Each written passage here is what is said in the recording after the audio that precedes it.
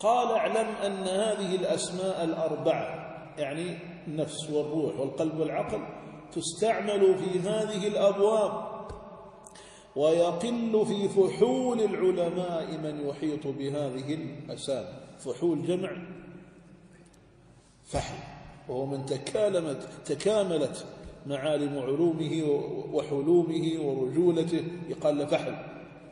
وهذا الكتاب يعني فحول الرجال كان بنية الشيخ محمد بن شامس البطاشي رحمه الله أن يؤلف كتابا قبل موته اسمه فحول الرجال لكن توفاه الله عنه ولم يكتب.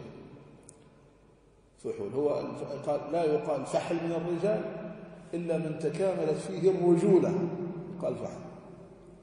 كان واحد يزور المشايخ يزور الشيخ حمود بن حميد ويزور الشيخ سعيد ويزور الشيخ أحمد. فمرة كان مع الشيخ أحمد.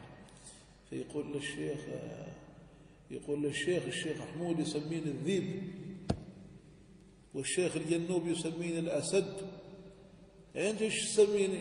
قال أنا قلت فحل. فحل عند التيس يعني. هو ما يعرف لا يعرف الفحل. الفحل عند الفحل عند العلماء من كاملة الرجولة وهو عند الفحل يعني التيس.